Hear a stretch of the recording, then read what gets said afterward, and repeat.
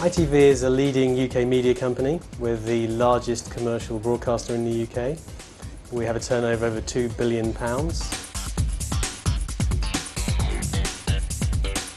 ITV's key strategic focus is to grow revenue from areas outside of advertising. We've done a lot of work with mobile phones, with broadband, we've got new digital channels.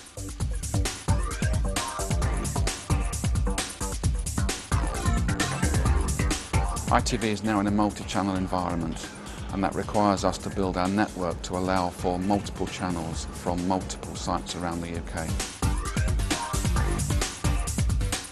Meridian has a complex operation with three completely independent news services.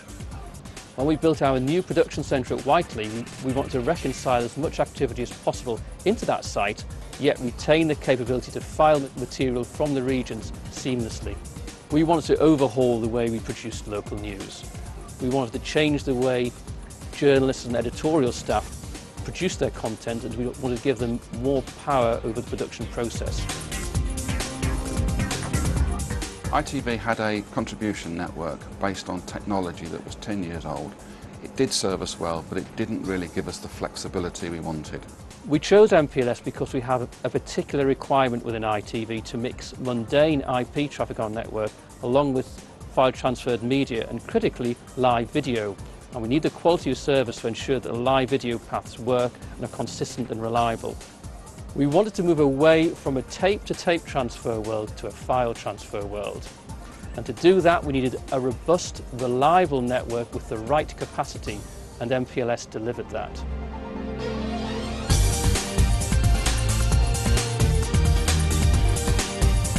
BT's offer differentiated itself because there was an element of dynamic reconfiguration of the network, which we believe is the world first. So that means anybody in ITV sitting at their desk can set up a network connection and transfer video around the company. File transfer was key to a much more efficient way of working where operators at either end could file media directly to one another rather than like exchanging emails in an office environment. MPLS technology allows us to be a more flexible and responsive organisation. Ultimately it means we can put on screen more content, more in-depth content and something that's better than our competitors. The operational benefits of this network are that we can very quickly flex it to meet the business needs. The converged network will allow us to provide voice over IP telephony. We've been able to double our bandwidth, reduce our costs and make multi-million pound savings. We now work in a much more collaborative way. Our reporters are able to edit their own material and file it to our own shared storage system. This new network and its dynamic configuration capabilities are allowing us to actually change workflows, to distribute production capabilities and really transform our business.